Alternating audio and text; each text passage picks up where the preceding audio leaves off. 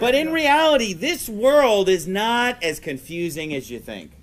It's not as confusing as you think. Some people just think, oh, there's so many different religions, I'm confused. It's really not that confusing. Let me just break it down to you.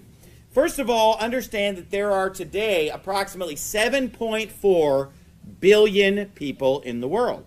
So there are 7.4 billion people in this world, and out of those 7.4 billion people, 2.3 billion of them claim to believe in Jesus as their Savior.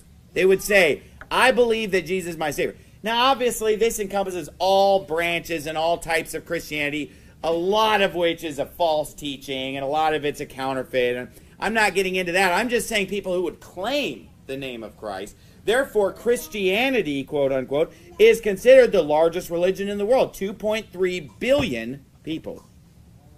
The, the second largest of the organized major world religions would be Islam with 1.6 billion people, which would make about 22%.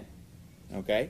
Then we have Hinduism with 1.1 billion people, which is about 15% of this world. Then we go to Buddhism, which has about a half of a billion or 500 million adherents, or about 6% of the world's population.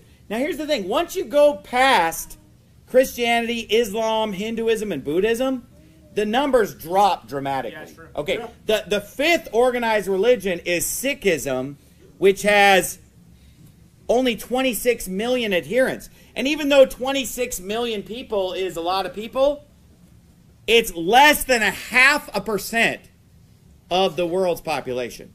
Less than half a percent. So it's a very tiny minority of people in this world. And then if we go to Judaism, I mean, it's not even in the running. It's one fifth of 1%. Even though it's front and center on Google as being a major religion, you know, right there in the middle, it's actually one fifth of 1%. And then, you know, you go beyond that, it, it gets even tinier. Baha'i, you're down to like 6 million people or less than one tenth of a percent. I mean, it's just minuscule. So, really, major religions that actually have followers all over the world or a large number of followers, you really could narrow it down to five big religions.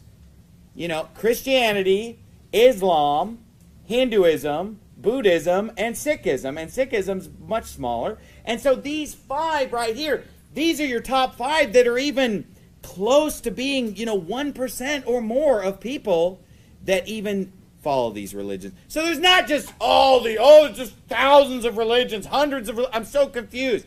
No, no, no. You've got five major world religions, okay? But here's the thing, you can simplify it even further than that. Because of the fact that these three, Hinduism, Buddhism, and Sikhism, are, are almost the same. They're all spin offs of Hinduism.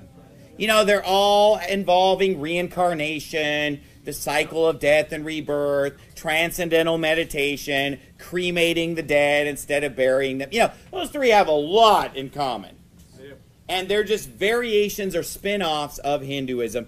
And then if you take the first two, Christianity and Islam, you have to understand Islam is just a perversion of Christianity. Right, right. All it is is a guy who came along and said, Oh, I'm following in the footsteps of Jesus Christ, except I'm the next prophet, and you guys got Jesus' message wrong, and so I'm going to come and bring a greater revelation. It's just a cult or spin off from Christianity, much like Mormonism. So it's really not that complicated whether you're pretty much going to follow Hinduism or its spin offs or Christianity and its spin offs. And then once you look at Christianity, it shouldn't be that hard to figure out who's actually believing the Bible and who's just putting on a funny hat and sprinkling poo-foo dust everywhere and going through a bunch of weird traditions and rituals that have no basis in the Bible. It's not that hard to figure out, folks. And the Bible says, ask and you shall receive. It says, seek and you'll find. Knock and it shall be open unto you.